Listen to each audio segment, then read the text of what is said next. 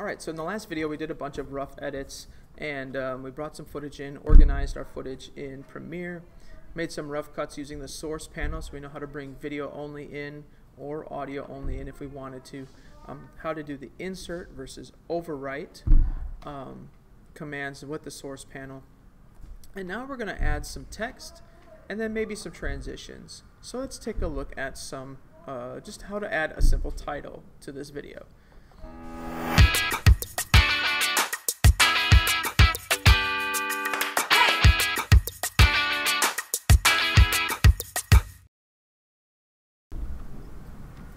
Okay, so we're in Premiere. Now, there's a lot of different graphics that are built into the newer versions of, of Premiere that we're currently working on. But one thing we should look at is the title graphic. It's still there, it's just kind of hidden. So, so to find it, we're going to go to File, New, and we're going to come all the way down here to Legacy Title. Legacy meaning old, you know, it's kind of going away, but we're still going to use it for now. So Legacy Title. We're going to keep everything the same, and we're just going to give this a title. We're going to call this, um, well, what the heck, title. Done. Alright. And it comes up with an empty piece like this. We're going to add just a still, a still frame title. And if I expand this out a little bit, there we go. You can see on the right, you've got transform, properties, your text, and all that. So let's add some text first. Just going to drag out a quick text box here we're going to call this one um, San Fran.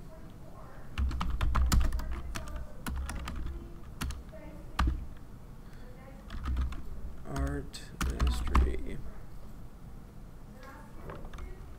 Um, you know, I'm going to call this Social artistry. Why not? I don't know. Making this up as I go. There you go. And now down below you have different styles you can choose from. Different font styles or presets. And you can always change these. Um, or change these around if you'd like. I'm not a big fan of the Arial font, so let's find something different. Maybe something that might reflect what we're actually watching.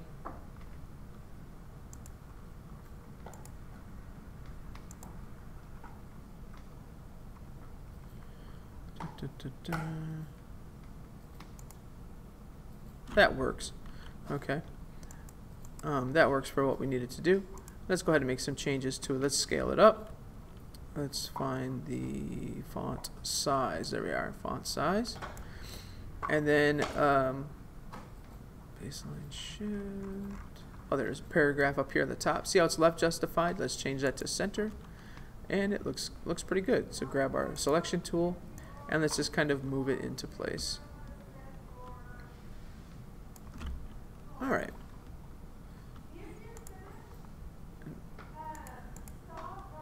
I'm making some changes because I didn't like that font. So you can play around with different fonts and things until you find something you like. That works, fine, whatever. Okay, once you're done, just go ahead and close this out. Um, you'd think you wouldn't save it, but it's actually right here in our footage folder, right?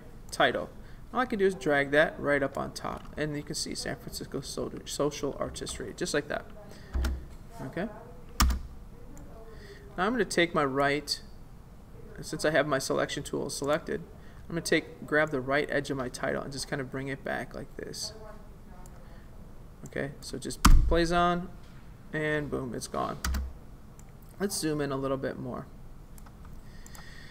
Now, if I hit, if I select my video clip, the default transition is a cross dissolve. So if I hit Control D on my video clip, you can see it just fades in and fades out. Now I can actually grab, if I select the transition, I can grab that transition and shrink it down so it's not so uh, not so long. So we can transition in, transition out. Uh, probably don't want that transition on the end, so I might delete it, right? Or I could bring this a little bit longer so that it kind of crosses in like that. That's not bad. So, yeah. And uh, maybe we'll add a transition here in our video to help sell that transition of the text. So let's go ahead and add some different transitions. Well, to find some transitions, we could do the same thing.